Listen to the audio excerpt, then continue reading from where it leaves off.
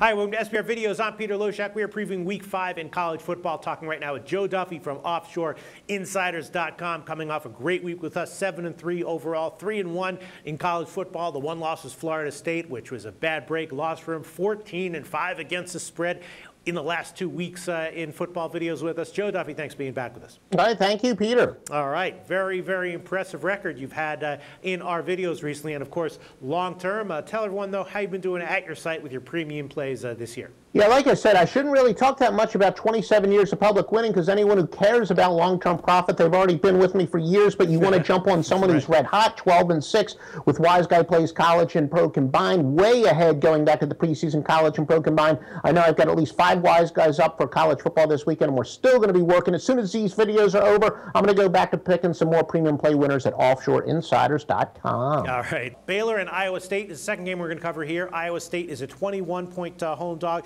That's actually down from 21 and a half. Both these teams are off of a bye. Uh, you know, Iowa State, they did get a win over Iowa in their rivalry game. They covered, they got a nice cover at home as 11 and a half point dog against Kansas State. But still, in my mind, I'm thinking that uh, Iowa State sucks. You know, maybe I'll do some more research this week and, and revise my opinion of them. But I still have them pegged as a team that sucks.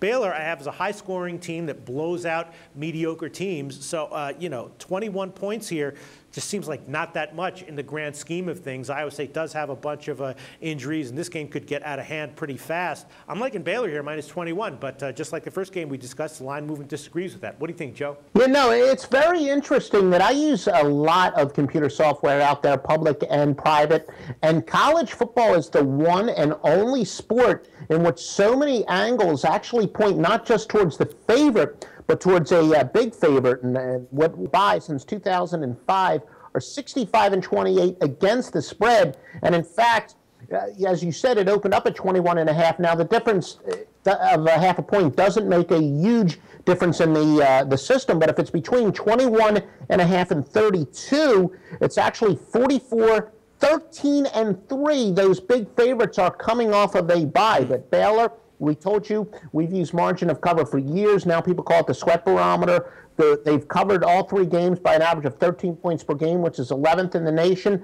They're sixth in the nation in margin of cover the past two years combined. Look, maybe I overplayed it. I said that last year Baylor had to get style points, and perhaps they'd be overvalued this year because they didn't have the motivation of style points you know, part of being a good handicapper is making adjustments, admitting when you're wrong. Baylor just still has no compunction. The drill teams, they've got the ability to do it. And Iowa State, yes, Iowa State has been getting progressively better on defense, but I think, if anything, a little bit of a false sense of security because their, their defense, their secondary has actually been very good in part because of a so-so schedule. But to me, once they, they start, they give up a couple touchdowns, the, the air is going to come out uh, of the, their kite or whatever the metaphor is I'm trying to use. and I think they're going to really just have a big letdown, and Baylor is just going to destroy them. All right, I'm agreeing with you. Joe Duffy from OffshoreInsiders.com. Baylor minus 21 is the play here. Thanks, Joe. The SBR network offers free sports picks and game breakdowns, big money free betting contests year round a real-time Vegas-style odds monitoring service, and much more.